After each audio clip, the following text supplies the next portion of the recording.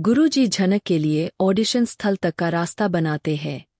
वह उसे अपना सर्वश्रेष्ठ देने के लिए प्रेरित करते हैं। गुरुजी के दयालु शब्दों से झनक को प्रोत्साहन मिलता है। वह मंच पर जाती है, जिससे ब्रिजभूषण काफ़ी हैरान हो जाता है।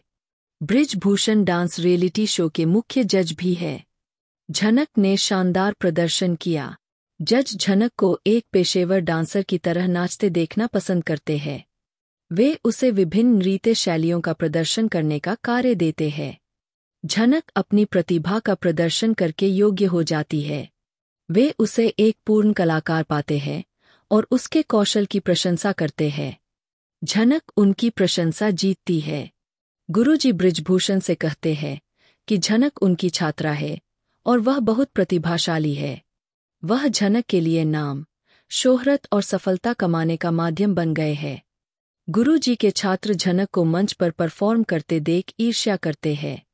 उन्हें आश्चर्य होता है कि गुरुजी ने कैसे झनक का समर्थन किया और उसे टैलेंट शो में भाग लेने के लिए लाया। गुरुजी झनक की छिपी प्रतिभा को सामने लाने के लिए दृढ़ संकल्पित है। वह अपने प्रदर्शन के माध्यम से अपनी शालीनता और सकारात्मकता दिखाती है, जिसके कारण ऑडिशन राउंड में उसका चयन हो जाता है। हालाँकि इससे उनके अन्य छात्र उनके खिलाफ हो जाते हैं। उनकी अस्वीकृति के बावजूद, गुरुजी उनकी राय से अप्रभावित रहते हैं।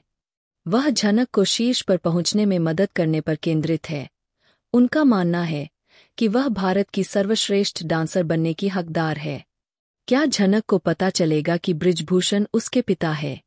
क्या ब्रिजभूषण सार्वजनिक रूप से झनक को स्वीकार करेंगे?